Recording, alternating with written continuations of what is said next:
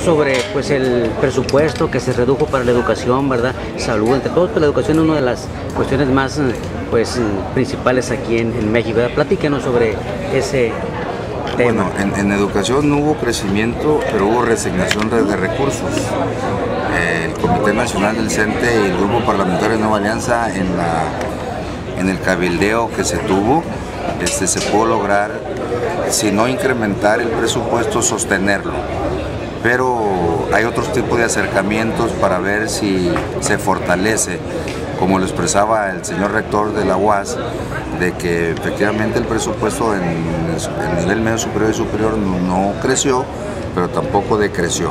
Se está buscando la alternativa de la, de las reuniones de las NUES con el propósito de ver si pueden llegar más fondos.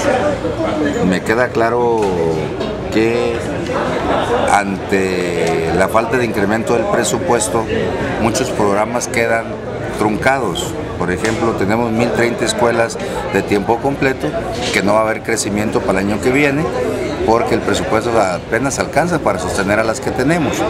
Y hay otro tipo de cosas que, no, nos va a permitir no tener este, alguna novedad en educación en el país pero decirles que se sigue en la lucha, a pesar que ese ya se autorizó el presupuesto, hay otro tipo de incentivos que pueden permitir el crecimiento en educación.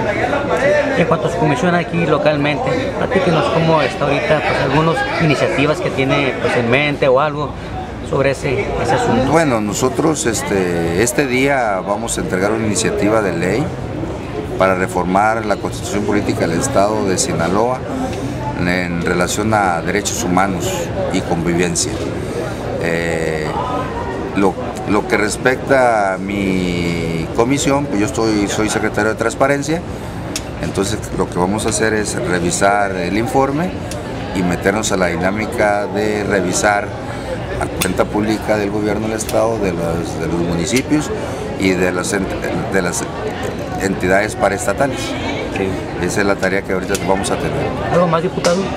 Vamos a agradecerles y estar pendientes de, responder como debe ser a los sinaloenses. ¿Su nombre? Y... Crescenciano Pericuenta del Partido Nueva Alianza. Formación en el Congreso Sinaloa, Julián. En materia educativa. Eh,